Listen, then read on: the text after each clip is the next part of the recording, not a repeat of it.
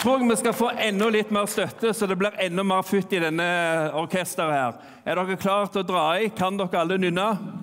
Eller så får vi de proffe til å hjelpe oss. Garden.